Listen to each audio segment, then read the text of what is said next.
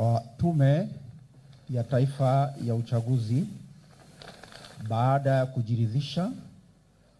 kuwa wagombea wa kiti cha rais na makamu wa rais waliopendekezwa na Chama cha Mapinduzi wametimiza masharti ya ibara ya 41 ibara ya pili,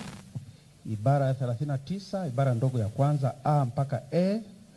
na ibara ya 47 ibara ndogo ya 4 a mpaka e za Katiba ya Jamhuri ya Muungano wa Tanzania ya mwaka 1977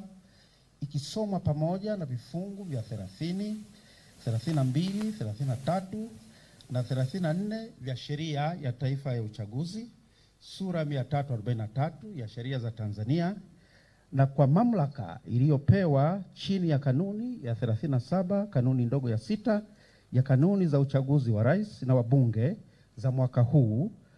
tume imewateua Dr. John Pombe Joseph Magufuli kuwa mgombea wa kiti cha rais wa Jamhuri ya Muungano wa Tanzania na ndugu Samia Suluhu Hassan kuwa mgombea wa kiti cha makamu wa rais wa Jamhuri ya Muungano wa Tanzania.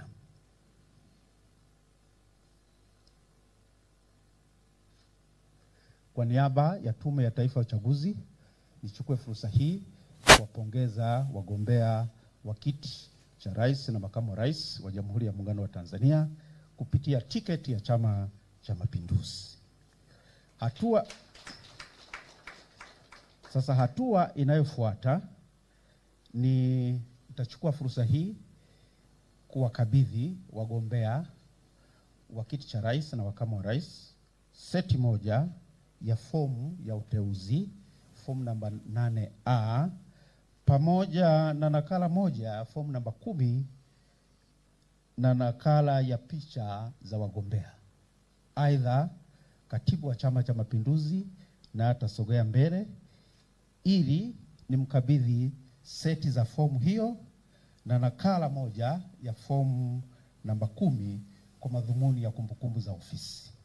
Tutaanza na waheshimiwa wagombea, nitawakabidhi sasa hizi seti moja za fomu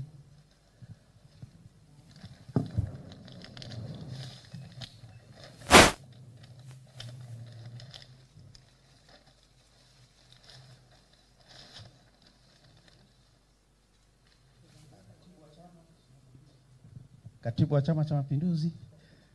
takabidhi fomu kwa ajili ya kumbukumbu.